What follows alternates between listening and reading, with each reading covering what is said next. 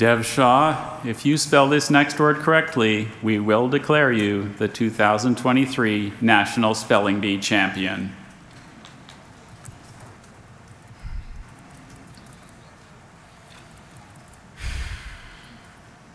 Psammophile. Psammo meaning sand Greek. Wait.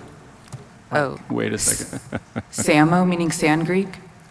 Yes, Phile meaning lover Greek. you're on the right track. Can I please have all the information? Psammophile is a noun from Greek. A psammophile is an organism that prefers or thrives in sandy soils or areas. Psammophile, may you please have the sentence? Any psammophile, for example a cactus, would flourish in the Arizona desert. Can you say it for us?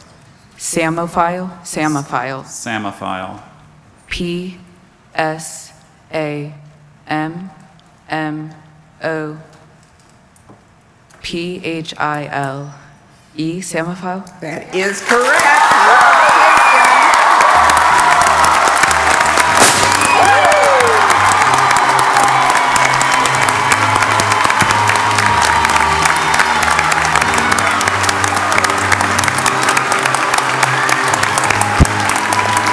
The hug from Charlotte and Morgan Fitzgerald Middle School celebrates in Largo, Florida. He had family watching in New Jersey and in India.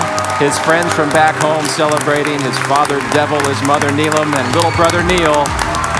They'll be talking about this for the rest of Dev's life. Your 2023 Scripps National Spelling Bee Champion.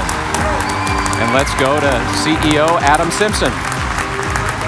Well, Dev, Dev, on behalf of the EW Scripps Company, I'd like to present you with the Scripps Cup and, and, and name you the 2023 Scripps National Spelling Bee Champion.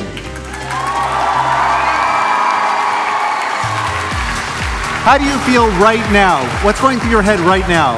Uh, it's surreal. I, I didn't even let it settle in, and like I don't know, my legs are still shaking.